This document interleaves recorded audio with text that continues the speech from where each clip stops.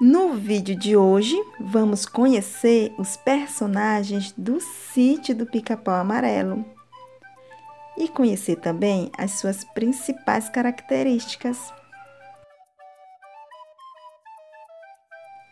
Emília. Emília é uma boneca de pano feita pela tia Anastácia. Era muda até que engoliu a pílula da fala e passou a falar feita uma matraca.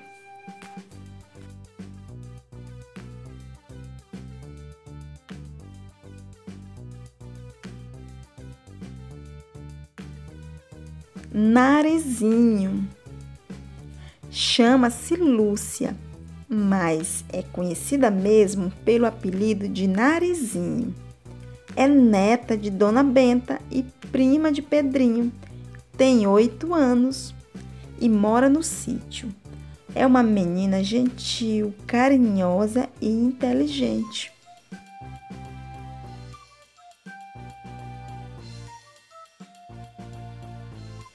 Pedrinho. Pedrinho é um menino de 10 anos que mora com a mãe na cidade.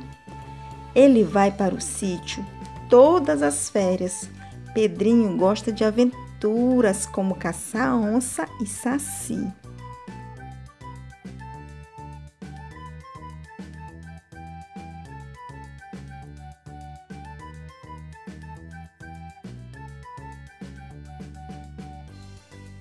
Dona Benta. Dona Benta é a avó de Pedrinho e Narizinho. É uma excelente contadora de histórias para seus netos.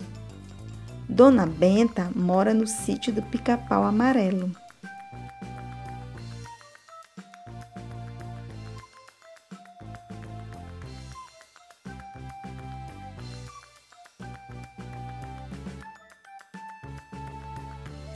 Tia Anastácia é sábia em matéria de cultura popular.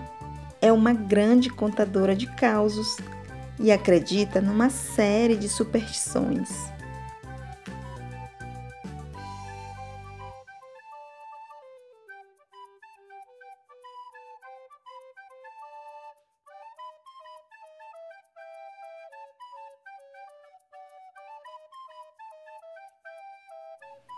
Saci. O Saci é uma figura popular do nosso folclore. Ele é um negrinho de uma perna só, que usa uma carapuça vermelha e pita um cachimbo.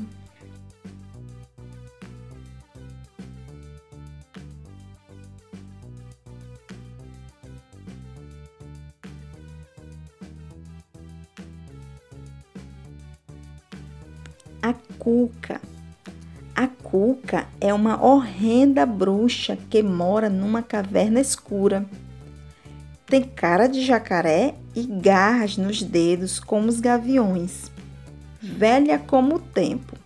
Dorme uma noite a cada sete anos.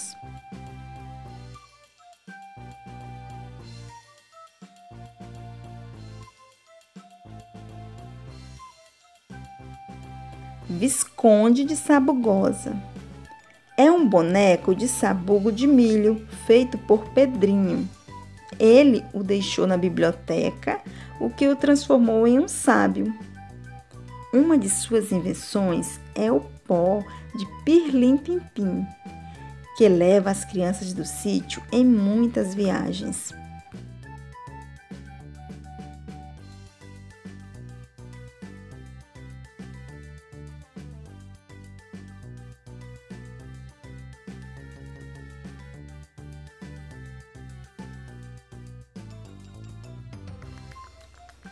Se você gostou desse vídeo, deixe o seu like, se inscreve no canal. Até o próximo vídeo. Tchau, tchau!